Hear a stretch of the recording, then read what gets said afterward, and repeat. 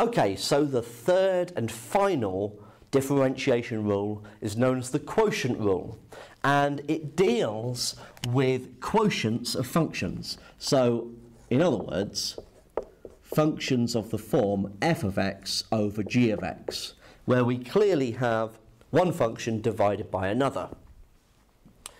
So, types of functions that we'd be looking at here to use the quotient rule, I mean, you could use y equals, um, you could use the quotient rule and something like y equals x plus 2 cubed if you wanted to.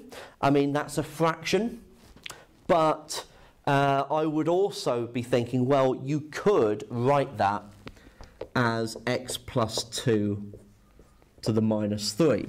And that would actually be easier to write and, and complete using the chain rule, okay, to differentiate it that way. However, there are ones that will be easier to use the quotient rule. So if I modified this slightly and write it, wrote it as x over x plus 2 cubed, then certainly uh, the quotient rule will be easier in the long run to do that rather than um, writing it as, say, x times x plus 2 to the minus 3 and doing the product rule. Okay, so I'll come back to that in a moment, okay, because at this point there's usually some convincing needs to go ahead as to why it might be preferable to use the quotient rule rather than the product rule. I'll go through that example at the end of this video. Uh, another example uh, might be something like y equals um, sine x over cosine of x, so to differentiate tan. Um, so as long as you have a fraction uh, of functions, you can use the quotient rule. And because of this, you might be thinking, well, actually, because I could write it on one line, I could always just use the product rule. And the example I'm going to go through, I'm going to try and convince you otherwise. Okay? So what is the rule? How does it work? Well, the way that it works is that we start at the bottom and you work your way up. Okay, so you start with g of x and you multiply that by the derivative of the top, f of x. So it's f prime of x times g of x. The bottom times the derivative of the top. Then take away the top times the derivative of the bottom. So the order here matters.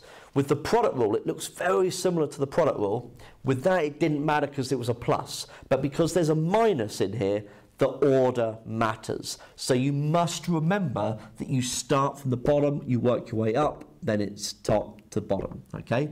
So bottom times the bottom times the derivative to the top, take away the top times the derivative of the bottom, and we're not quite done because we've got to then divide it by the bottom squared. Okay, that is the quotient rule. And it will look, if this is the first time you've ever seen it, as something quite ghastly. Okay? However, it isn't really too bad. So, what I'm going to do is I'm going to look at this example now, okay? And what we're going to do y equals x over x plus 2 cubed. Okay? Um, now, if you were going to use the product rule, which you're perfectly right to do, okay, you would first of all write it like that. And so we're looking at the product of these two functions. So dy by dx would be the first times by the derivative of the second, which will be minus 3 x plus 2 to the minus 4, plus the second times the derivative of the first. Okay?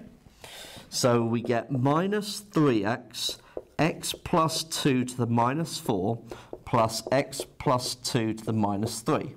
And then, of course, we want to make this simpler for ourselves, so we want to put it back into factorised form. So we would factor out the larger of the two, okay, because of the, um, sorry, the, the most negative of the two. um, in order to aid the factorisation here.